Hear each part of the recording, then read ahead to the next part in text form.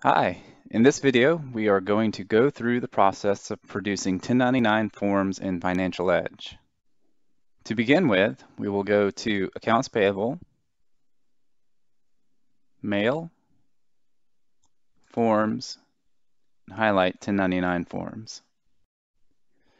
From here, we can select an existing parameter or click New to create a new parameter. On the General tab, we need to select if we are creating 1099 NEC or 1099 miscellaneous forms.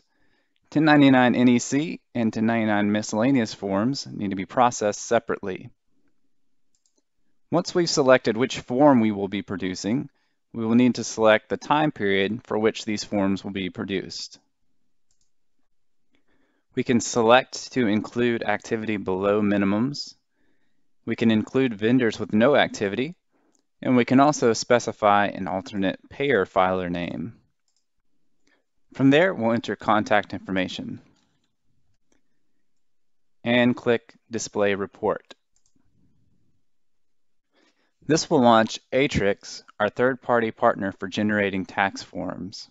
From here, we'll go through the company setup wizard to verify company information in preparation for displaying forms correctly. At each of these steps, you can click on the help icon for more information on the options or information requested.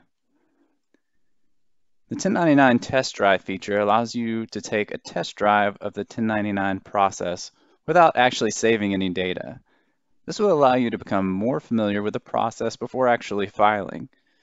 Once you're ready to begin the official processing, choose No Thanks, Start Processing My 1099s. Next, we'll need to verify your tax identification number. This number comes from the federal ID number entered in Configuration General.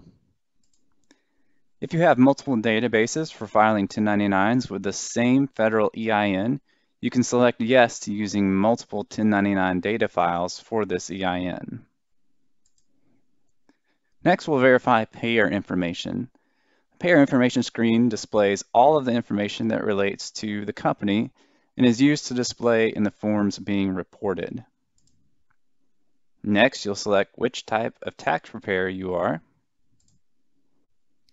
If any states have been defined in 1099 activity for the year, the state tax item will show here for verification. The tax account number listed here will pull from the state ID numbers defined in Configuration General. Next, if you have any recipients who elected to only receive 1099 forms electronically, you can select that here. Answering yes to this question will have the preparer verify recipient email addresses.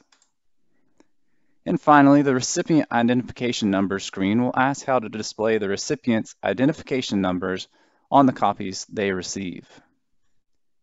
The next part of the process will bring us to our Aatrix Preparer Grid. Here we will see a list of each of our recipients along with their information in the left panel, along with the corresponding 1099 amounts in the right panel. As we click Next through the process, Aatrix will verify the recipient information and 1099 box amounts. Changes can be made to the data directly within this grid, and those changes will flow through to the 1099s. Changes made directly in this grid will not, however, change any data on the vendor or invoices directly in Financial Edge. To proceed through the grid, we will click Next. The data being verified in each step will be highlighted within the grid and stated above our progress bar. Information about the complete e-filing service offered by Aatrix will appear, in this step, we will need to select our 1099 printing and filing options. You can choose between the complete e-filing service and other options. Within other options, you can select which filing options you would like. For our purposes here, we will select to print the forms.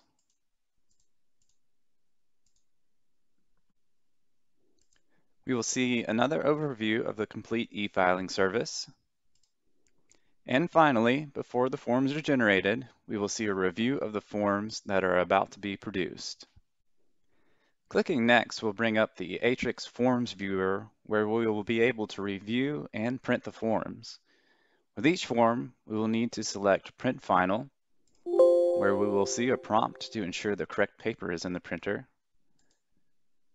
We'll click OK, which will bring up our print dialog box where we can select the printer and make any page alignment adjustments if needed. Once the form is printed, we can click Next Step to bring up the next form. With each form, we will repeat the process of printing using the Print Final button. Once all of the forms are printed, we will be presented with the 1099 history file options where we can choose from the available actions or close the window. And at that point, your 1099 processing is complete.